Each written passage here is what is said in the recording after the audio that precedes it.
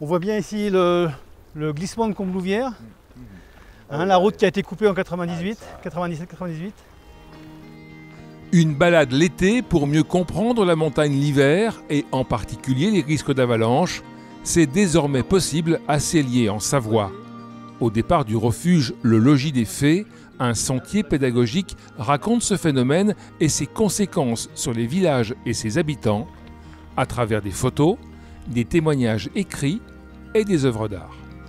À travers ce sentier, on fait prendre conscience euh, aux personnes qui le fréquentent que le village de Célier est protégé, les accès au village de Célier sont protégés par la gestion de la forêt, par des mobiliers particuliers liés euh, euh, à la gestion des avalanches, des râteliers, du béton, du métal, mais aussi par du végétal avec des arbres qui ont été plantés ici dans les années 50, à partir des années 50, et qui maintenant jouent un rôle important de protection des voies d'accès au village de Célier.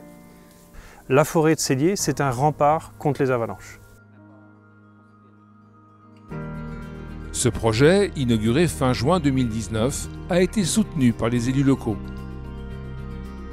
Ça fait déjà bien longtemps sur Célier qu'on avait une idée de mettre en valeur notre parc de paravalanche. C'est une très vieille idée. Ensuite, elle s'est concrétisée euh, par l'intermédiaire de la communauté de communes des Vallées d'Aigues Blanches, par l'espace valéen, qui a eu des crédits pour mettre en valeur ce, parc de, de paravalanche. Et euh, la mission était confiée à l'ONF. Cette balade est aussi l'occasion de rappeler que l'intérêt du reboisement va bien au-delà de la question des avalanches. L'idée de reboisement avec l'objectif de protection, c'est euh, une manière de capter du carbone, de lutter contre les modifications euh, climatiques. Et euh, on, voit là le côté vertueux de cet engagement qui a été entrepris il y a bien des années et surtout avant que nous ne parlions même des modifications climatiques. La Savoie compte 899 km de route départementale à plus de 1000 mètres d'altitude. Dès lors, la gestion du risque avalanche est un enjeu majeur pour les élus.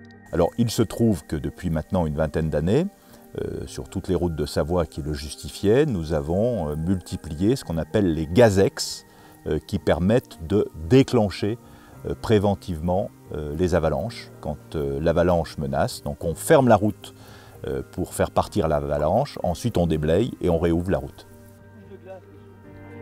Et avant l'arrivée de la neige et de l'hiver, rendez-vous au-dessus de Cellier pour découvrir ce sentier unique en son genre.